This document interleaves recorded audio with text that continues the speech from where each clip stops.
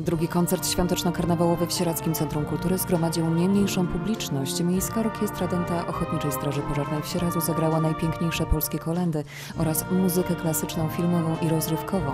Przy okazji wspomniano Kazimierza Marciniaka, sieradzkiego hejnalistę i długoletniego kapelmistrza Orkiestry Dętej OSP w Sieradzu. Kilka słów o jego działalności powiedział historyk, regionalista Jan Pietrzak. Kaziu Marciniak, mój serdeczny przyjaciel, był i jest do tej pory najdłużej urzędującym kapelmistrzem. 32 lata y, dyrygował orkiestrą. Proszę Państwa, to nie były takie czasy jak teraz, że się nuty napisze i komputer, komputer wydrukuje.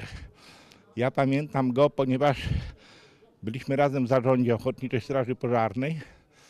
Kaziu był wiceprezesem, ja byłem sekretarzem i pamiętam godziny, jakie ślęczał i przepisywał nuty chłopakom do, na poszczególne instrumenty. Wszyscy go pamiętają jako hejnalistę sieradzkiego, prawda? W 1985 roku, praktycznie do śmierci, y, przejął po panu Józefie Szczeblewskim rolę hejnalisty sieradzkiego. I wszędzie, gdzie były uroczystości miejskie, ten hejnał rozbrzmiewał wspaniale. Ale ten hejnał, on nie tylko rozbrzmiewał w Sieradzu. To Kaziu po raz pierwszy jeździł na różne ogólnopolskie przeglądy i do Krakowa, i do Lublina. I proszę sobie wyobrazić, że tam nasz hejnał był odbierany bardzo pozytywnie.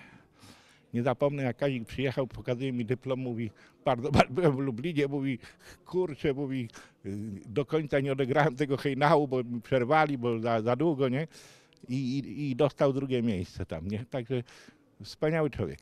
Multiinstrumentalista, bo wszyscy go postrzegają, y, że grał na trąbce. Nie tylko na trąbce grał. Poza tym, że był świetnym dyrygentem i że grał, na, rzeczywiście był wirtuozem trąbki.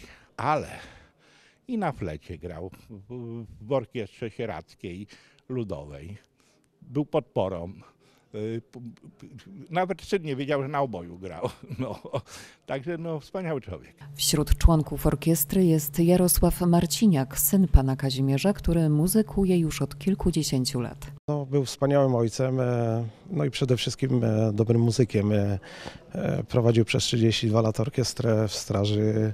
No, grał na, między innymi na, na trąbce, na saksofonie.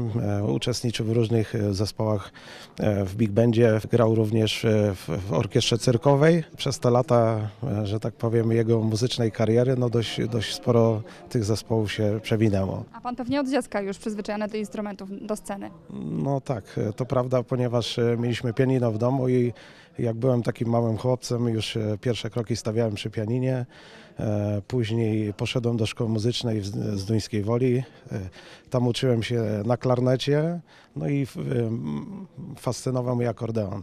I, I później przerwałem na klarnecie, zacząłem uczyć się na akordeonie i, i generalnie na tą chwilę w orkiestrze gram na, na alcie. I tak do tej pory chyba już ponad 40 lat w orkiestrze gram. Bronisław Raczyński jest obecnie najstarszym członkiem orkiestry i przez lata współpracował z Kazimierzem Marciniakiem. Miał pan okazję z nim e, współpracować, grać razem. No, bardzo długo graliśmy razem. Y, chyba od 70 lat. Był wspaniałym y, dyrygentem, kolegą, no, towarzyszem. Od ilu lat e, jest pan tutaj w orkiestrze? No, chyba jestem najstarszym członkiem orkiestry. Od 68 roku.